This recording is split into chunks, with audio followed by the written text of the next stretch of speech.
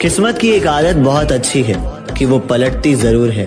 और जब वो पलटती है ना तो सब कुछ पलट देती है। इसलिए कभी अपने अच्छे वक्त में घमंड ना करना और अपने बुरे वक्त में थोड़ा सब्र करना। जब से मुझे पता चला है कि ऊपर वाला मेरे साथ है, मुझे कोई फ़र्क नहीं पड़ता कि कौन मेरे खिलाफ है।